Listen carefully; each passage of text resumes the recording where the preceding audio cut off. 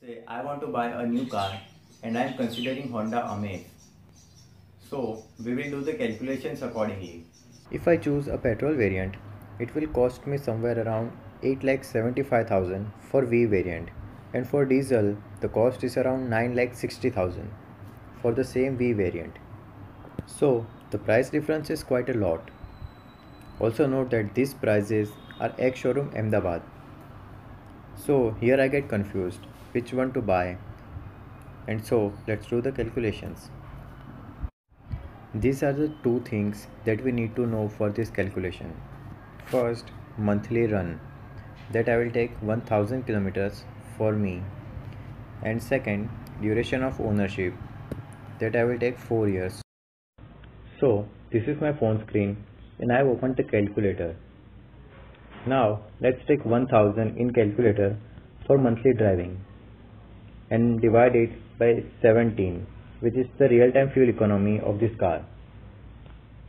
So we get 58.82 which is the amount of petrol that I will be needing every month and the present prices of petrol is around 79.33 so multiply this with 79.33 4666 which is around 4700 rupees so this will be the total fuel expenses every month now if I want to own this car for 4 years so multiply 4700 with 48 months. So here we get 2,25,600 rupees. So this will be the total cost of petrol that I will use in 4 years.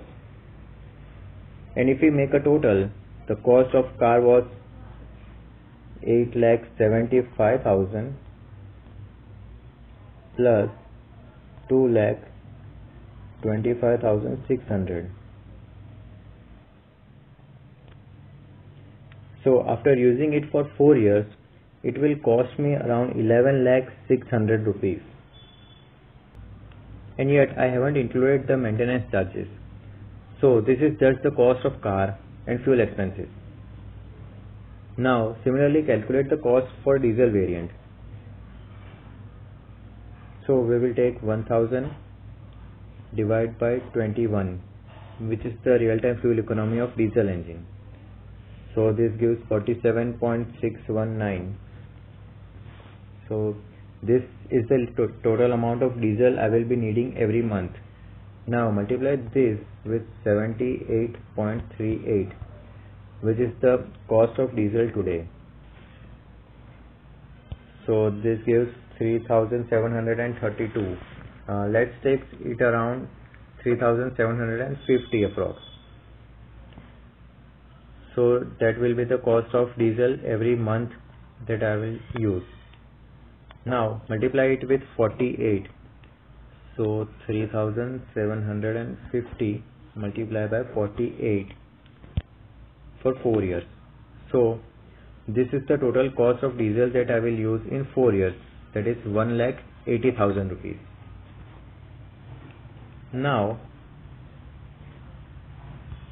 now we will calculate the total cost. That is uh, 9 lakh 60,000 for the cost of car plus 1 lakh 80,000 for the cost of diesel. So it will around 11 lakh 40,000 rupees. So after 4 years, it will cost me 11 lakh 40,000 rupees for a diesel car. Remember that these calculations are not including maintenance and service charges, where the maintenance cost is always a bit higher for diesel engines than a, that of a petrol engine. So according to these calculations and keeping the maintenance cost in mind, I must buy a petrol engine car for my use.